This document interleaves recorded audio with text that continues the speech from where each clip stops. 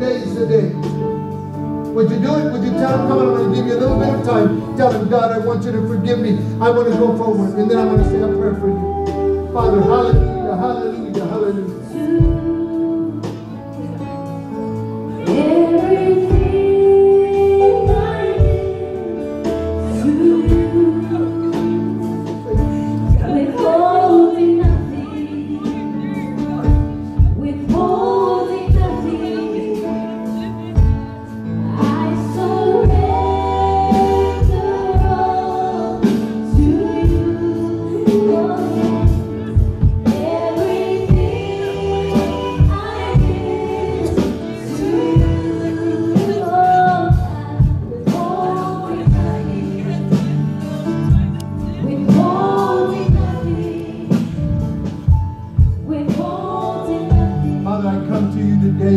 pray for every single person that has come. Lord, they've come because of the fact that there's been things maybe that have not permitted them to work and to do something for you, whether it be in the past.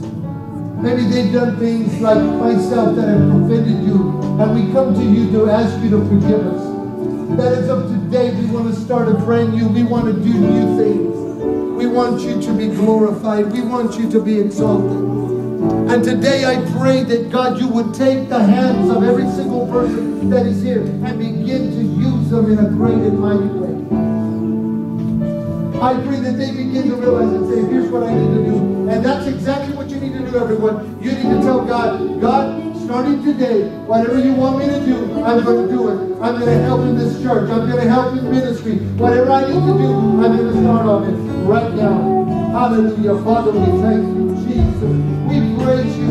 We thank you, God. We thank you, God. We thank you, Jesus. We thank you, Jesus.